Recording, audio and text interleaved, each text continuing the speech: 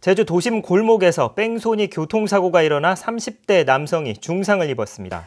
그런데 사고를 낸 운전자는 무사증으로 제주에 입국한 중국인이었고 사고 발생 6시간 만에 중국으로 도망간 것으로 밝혀졌습니다.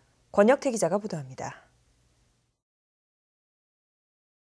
새벽 시간 주택가 골목길에 서 있는 한 남성. 곧이어 승용차 한 대가 빠른 속도로 달려들더니 이 남성을 들이받고 사라집니다.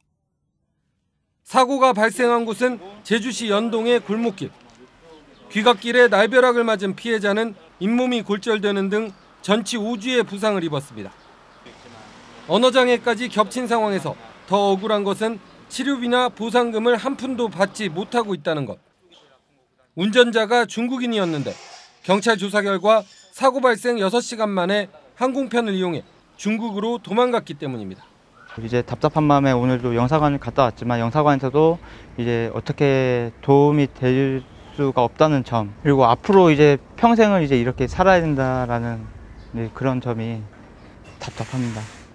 권투 코치로 일했던 피해자는 사고 후유증으로 현재 일을 할 수 없는 처지가 됐고 앞으로 운동을 계속할 수 있을지도 막막한 상황이 됐습니다.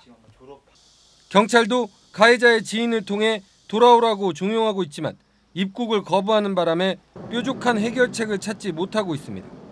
중국과는 범죄 인도 조약이 체결돼 있지만 어, 현실적으로 자국민에 대한 인도는 임의적 거절 사유이기 때문에 어, 실질적인 송환에 좀 어려움이 많습니다.